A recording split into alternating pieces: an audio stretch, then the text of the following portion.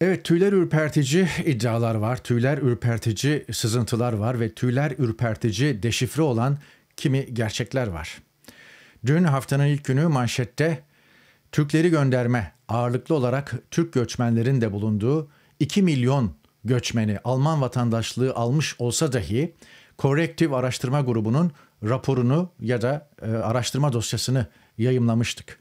Almanya'da hızla yükselen Sağ Parti AFD Almanya için Alternatif Partisi ki pek çok eyalette ikinci sırada veya birinci sırada önümüzdeki seçimlerde e, bunun planı gizli bir otelde e, yapılan bir toplantı ve bu toplantıda asimile olmamış göçmenler göçmenlerden kurtulma planı, bir Kuzey Afrikası ülkesine gönderme planından bahsetmiştik. Bu konuda Türkiye yetkililerinden herhangi bir açıklama yok. Herhangi bir tepki de yok. Türkiye medyasında herhangi bir haber de yok. Haliyle ya sen komplo teorisi mi anlatıyorsun? Ya hayır komplo teorisi değil. Gizli yapılmış bir toplantının deşifresiydi bu. Ve geniş bir gazeteci grubu yaptı bunu ve Amerika işte Almanya 5-6 gündür bunu tartışıyor. Fakat Türkiye başka konularla uğraşıyor. Türkiye'ye de geleceğiz ama. Yine bugünkü konumuz 3. Dünya Savaşı sen- senaryosu. Putin'in Avrupa'ya gizli saldırı planı sızdı. Bu da bir komplo teorisi değil. Bu Alman Bild gazetesinin bugün sabah yayımladığı bir haber. Grafiklerini getiriyorum ekrana. Ekran görüntüsünü çektim ve Bild gazetesinden grafiklerini getiriyorum. Almancam yok. Türkçe'ye çevirerek okumaya çalıştım. Rusya ile Ukrayna arasındaki savaş ikinci yılını doldurmaya doğru giderken Putin'in Avrupa'ya saldırı senaryoları sızdı. Alman Savunma Bakanlığı'ndan alınan gizli askeri belgeleri, bilgileri yayımladı. Bild gazetesi ki Bild Almanya'nın güçlü bir gazetesi. Ayrıca yine Alman Savunma Bakanlığı'ndan sızan bu bilgilere göre e, Alman ordusu Rusya'nın Doğu Avrupa'ya yönelik özellikle hibrit saldırılarına karşı hazırlık yaptığını da aktardı. Büyük bir haber, ses getirecek bir haber ama dediğim gibi bakıldığında esasen bunların konuşulması lazım, bunların anlaşılması lazım. Nereye gidiyoruz, dünya nereye gidiyor diye sorulması lazım. Fakat bunlar sorulmuyor. Ağırlıklı olarak Avrupa derken NATO müttefiki ülkelere bu yıl yapılması planlanan saldırılardan bahsediyoruz. Gelecek aylarda gerçekleşebilecek saldırı senaryoları. Alman Savunma Bakanlığı'ndan sızan bilgiler ve Alman savunmasının veya ordusunun neyse askerinin bu konudaki hazırlığı. Böyle 5, 6, 7 aşamalı bir plan. Yani Şubat 2024'te e, Rusya'nın 200 bin asker göndermesi, baharda Ukrayna'ya saldırı düzenlemesi, Temmuz ayında Estonya, Letonya, Litvanya'ya siber saldırı düzenlenmesi, bu bölgelerde yaşayan Rusların harekete geçirilmesi, Eylül'de Rus vatandaşlarını kullanarak bu toprakların kendilerine ait olduğunu söylemek e, ve bu söylem üzerine Ukrayna Savaşı da öyle başlamıştı. 50 bin Rus askeriyle Belarus'ta tatbikat düzenlenmesi, e, Aralık 2024'te Amerikan seçimlerinden hemen sonra bu geçiş fırsatını da bilerek yani fırsat bilerek çünkü Amerika'da e, seçimden sonra Kasım Aralık ayı Ocak'ta yemin törenine kadar uykuda geçiyor. Muhtemelen Biden'ın değişeceğini ön, öngörüyor Rusya. Trump'ın geleceğini veya bir cumhuriyetçi adayın geleceğini öngörüyor. E, saldırının dozunu artırmak Ocak 2025'te yani bir yıl sonra bu ay NATO'yu ve e, NATO'yu Putin'i devirmekle suçlayacak Putin'in planı ve Mart-Mayıs e, 2025'te ise NATO güçleriyle Rusya ordusu arasında Balkanlarda çatışmalar yaşanacak şeklinde. Çok aşamalı bir plan ve enteresan bir plan. Müttefik Savunma 2025 isimli senaryo. Bu yıl Şubat ayından itibaren başlayacak, devreye konacak ve bir yıl boyunca adım adım ilerletilecek bir senaryodan bahsediyor. Alman Bild, Bild gazetesi. Rusya'nın 200 bin ek askeri bölgeye göndermesiyle başlayacak bir plan. Batı tam da bu aşamada Ukrayna'ya maddi desteği, askeri desteği vesaire azaltmıştı. Ve Ukrayna bir yönüyle kendi kaderiyle baş başa bir savaş, artık düşük yoğunluklu da diyebiliriz, düşük yoğunluklu bir savaş götürüyor. Potansiyel senaryoda e, Rusya'nın, e, biraz evvel başlıkları okudum, biraz detaylandırayım. Rusya'nın Temmuz ayında siber saldırılarla Estonya, Letonya ve Litvanya'daki Rus vatandaşlarını harekete geçirebileceği kaydediliyor. Baltık ülkelerinde iç karışıklığın yaşanmasıyla birlikte ise Eylül ayında Rusya'nın Belarus'la birlikte ülkenin batısında 50 bin Rus askeriyle Zapad 2024 isimli büyük çaplı bir askeri tatbikat gerçekleştirebileceği gene kayıtlara geçmiş durumda. Senaryonun devamında Rusya'nın askerlerini daha da ilerletebileceği ve Litvanya ve Polonya arasında kalan Kaliningrad'a asker ve orta mesafe füzeler yerleştirebileceğinden endişe ediliyor.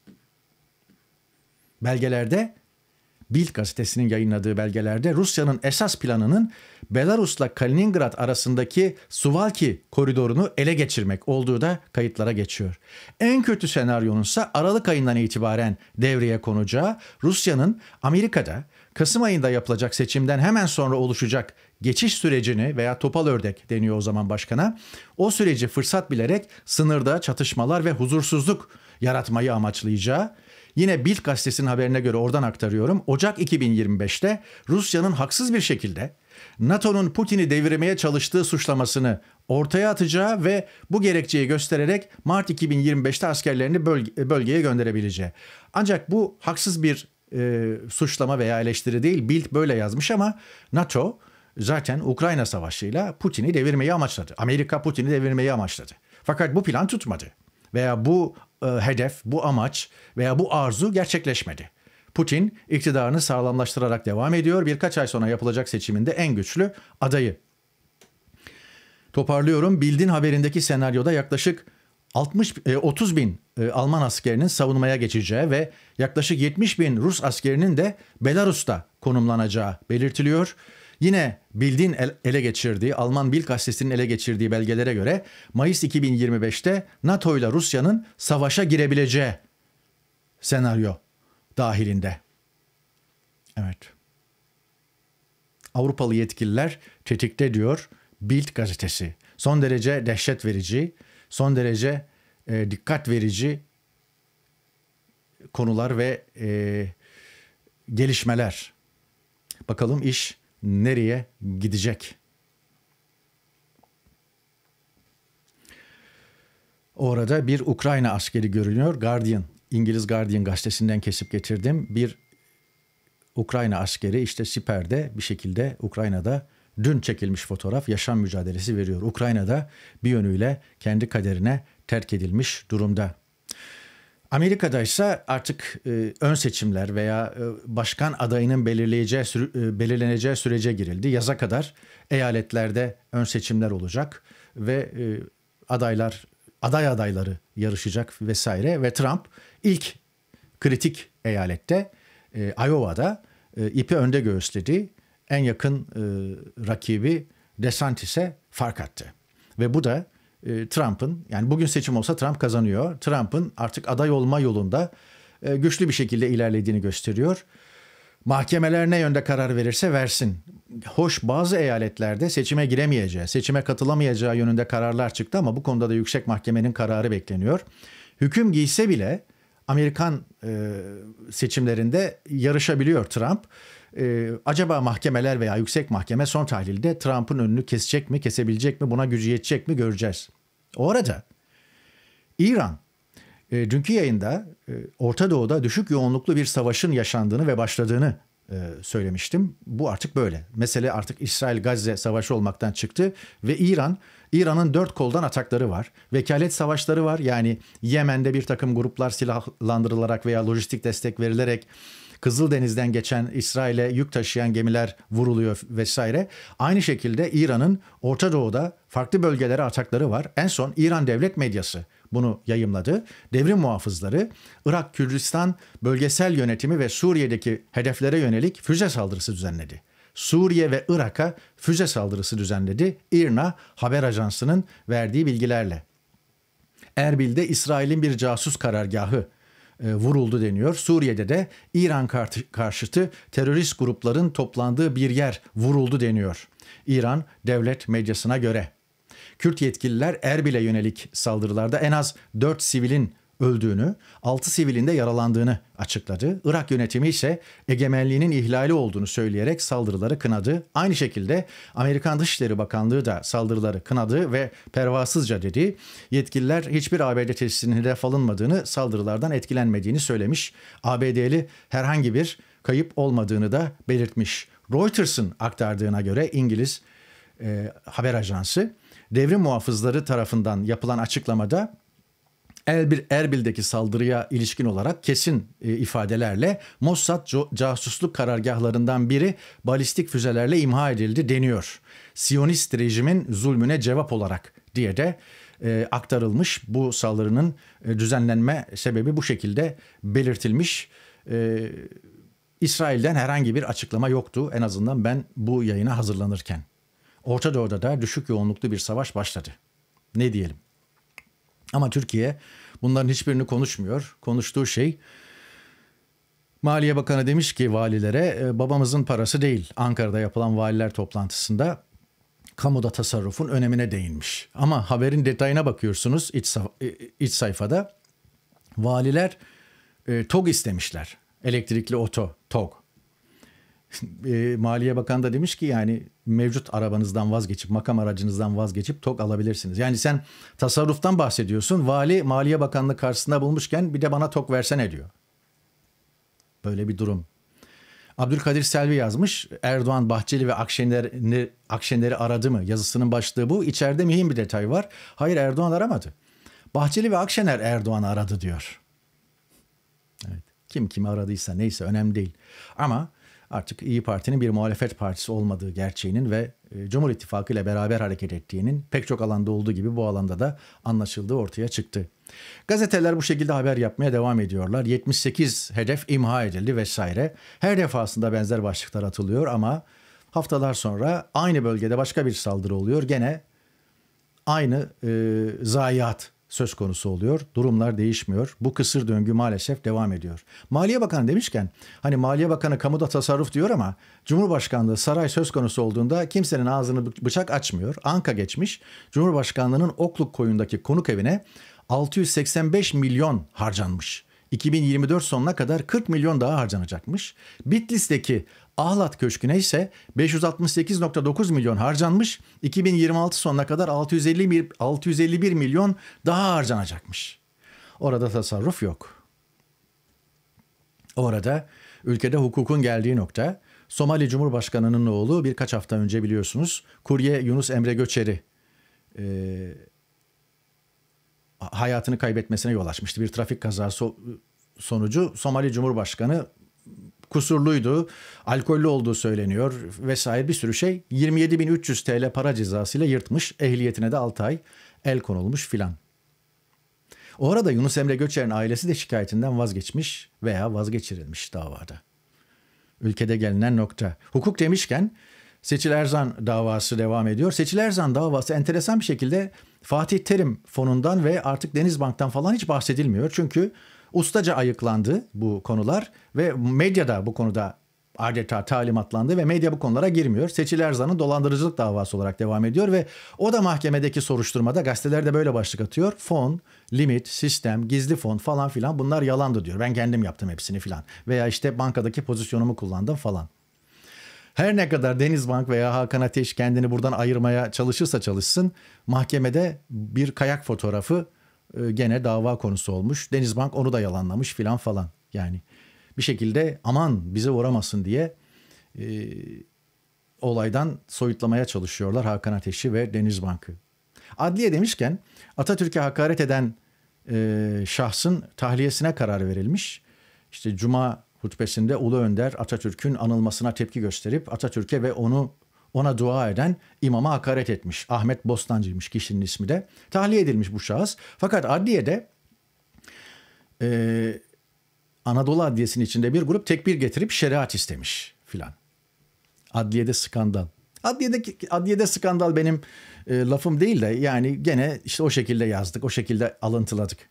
Skandal falan değil adliyede olan bir gün demek lazım esasen buna. Bir bu. ikincisi o tekbir getirip şeriat isteyenlere sorsan 10 dakika şeriatı anlatır mı? Anlatabilir mi? Ayrıca hangi şeriat? Suud şeriatı mı? İran şeriatı mı? Mısır'daki görüş mü? Dönelim Türkiye'ye. İsmail Ağa cemaatine göre şeriat mı? Menzil'e göre şeriat mı? Diyanete göre şeriat mı? Kime göre, neye göre? Bu ortada böyle bir şey yok. Dolayısıyla e, şeriat isteyenler bir kere daha istediği şeyin istediği şey nedir? Onu gözden geçirmeli. Ayrıca istediği şeyin ne olduğunu bilmeli. 10 dakika şeriat hakkında konuşamayacak insanlar şeriat isteriz diye slogan atıyorlar. Gerçekten çevirin sorun anlatsın size. Anlatabiliyor mu 10 dakika? Bir başka konu işte burası Turgutlu e, böyle ülkücü e, sınıfta e, ülke ocakları Turgutlu Orta Öğretim Başkanlığı da böyle paylaşmış Facebook hesabından. İşte Bozkurtlar, genç Bozkurtlarımız teşkilatlanıyor. Yine Turgutlu Ülke Ocakları Orta Öğretim Teşkilatı işte bayrak değişimi, öperek bayrak değişimi yapılıyor falan. Böyle fotoğraflar var, videolar var ve bunu da gururla yayınlıyorlar. Olabilir. Ee, Çetin Akın isimli kişi kim bu? Ee, Turgut Turgutlu Belediye Başkanı. Sıradan biri değil. Eğitimde geldiğimiz nokta. Burası Turgutlu'muzun en köklü devlet okullarından Turgutlu Lisesi. Devlet memuru bu öğretmenimizin eğitim yuvalarında yaptığı siyasi çalışmanın örneği diyor. Yarın konuyla ilgili olarak savcılığa suç duyurusunda bulunacağız. Bunu deyince Çetin Akın, Turgutlu Belediye Başkanı, İyi Parti'den tepki geldi. O halde biz de avukatlarımızla savunma, savunma makamında olacağız ne mutlu Türk'üm diyene. İyi Parti'de orada Turgut Lulu bu gençlere destek verdi. Kürşat Zorlu Profesör Doktor İyi Parti sözcüsü. Acayip bir ülke ve acayip bir yani acayip bir noktaya doğru savruluyor. Başta neler anlattım? Dünya kaynıyor. Bambaşka şeyler konuşuluyor Orta Doğu'da, Avrupa'da. Ama Türkiye başka bir kısır döngü içerisinde yuvarlanıp duruyor. Kütahya Belediyesi işe alınacak personel sızmış. E, MHP referanslar da sızmış. İşte Kütahya Belediyesi, Kadın Kolları MHP vesaire MHP il teşkilatı falan. Sonra derler ki biz iktidara ortak değiliz. Yani ülkücü hareket MHP falan demişken bunu da getirelim. Fakat gerçek gündem bu. İş cinayeti, iş cinayeti raporu 2023. 2023'te 1932 kişi, işçi, iş cinayetlerinde hayatını kaybetmiş. 54'ü çocuk, 106'sı mülteci göçmen. Ölüm sebeplerine göre %23 trafik servis kazası, %15 ezilme göçük, %14 yüksekten düşme. Bir ülkenin kalkınmışlığı veya refah seviyesi işçi cinayeti veya iş kazalarındaki ölümlerle ölçülür. 2023'te siz 1932 kişiyi iş cinayetlerinde kaybettiyseniz durup durup düşünülmesi gereken bir konudur. Nasıl olmasın ki? Şimdi e, Özgür Özel CHP grup toplantısında emekli maaşının geldiği noktayı gösteriyor. Yani asgari ücret karşısında ne durumda emekli maaşı? Ama olması gereken yer filan. Yani o değil. Bana göre 4-5 kelimeyle Mahve Eğilmez işi ortaya koymuş, konuyu ortaya koymuş. Ve adeta muhalefete slogan vermiş. Yani muhalefet bunu billboard yapıp ıı, belediyelerinde asla yeterli. İki yıl öncenin kirası bugünün aidatı oldu. Gerçek gündem bu. İki yıl öncesinin kirası bugünün aidatı oldu. Dünya demişken İzlanda'dan renkli görüntülerle manşeti bağlayayım. İzlanda'da e, haftalardır yanardağ hareketliliği var ve artık e, kentleri tehdit ediyor lavlar ve e, boşaltıla, boşaltılan ve bir kısım sakinlerinin geri döndüğü evler vesaire söz konusu lavlar altında kalmış. Esasen enteresan bir doğa olayı. Yani bir yönüyle gözlemciler için veya ilim insanları için izlenecek, notlar alınacak, takip edilecek bir olay. Yani heyecan verici ama öbür yönüyle de işte bu fotoğrafı Guardian'dan kestim. Öbür yönüyle de lavlar bu şekilde artık yerleşim bölgelerini tehdit ediyor veya işte lavlar altında kalıyor. Kullanılamaz hale geliyor binalar, yerleşkeler her neyse. Sonrasında da yüz milyonlarca dolarlık bir maliyet ortaya çıkıyor.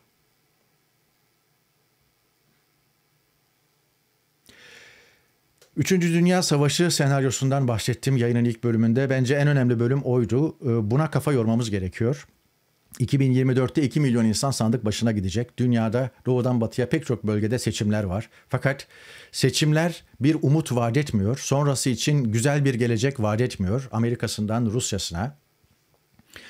Ee, Orta Doğu'daki karışıklık belli ki İsrail-Gazze meselesiyle sınırlı kalmayacak. İran devrede, Suudi Arabistan devrede ve hemen her noktada Suriye'de, Irak'ta, Lübnan'da büyük bir hareketlilik var.